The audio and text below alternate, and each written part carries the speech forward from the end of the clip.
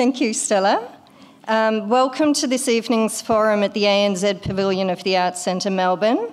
My name is Jenny Sorelli, and I'm a volunteer audio describer with Vision Australia. And I'll be providing an audio description this evening for those of you with the audio receivers. I'll start with a brief description of the room. The room is semicircular with a glass dome which is illuminated blue. The room has a capacity of 300 people, and this evening it's full. At the back of the room, there's a row of windows with opaque glass that give onto St Kilda Road and the lawn to the Hamer Hall.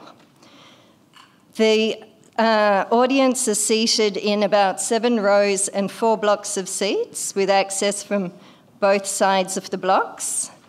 The seats face a raised stage with a long rectangular table behind which the panelists are seated.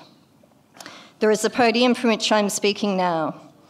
There's a cameraman who's filming proceedings from several locations, and there's a photographer who's moving around the room.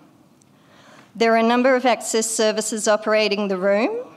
There are six Auslan interpreters, two who are seated in the front row interpreting towards the stage, two interpreting from the stage towards the audience, and two deafblind interpreters in the front row.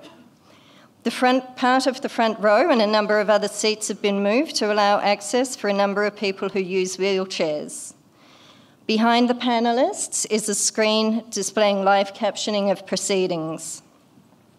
The planet panelists include the forum's host, Stella Young, who introduced herself before, who uses a wheelchair, um, and there are a number of people here, uh, including Emma Bennison, who's another panellist with her seeing eye dog. I'll hand back to you, Stella. Thank you. Thanks, Jenny.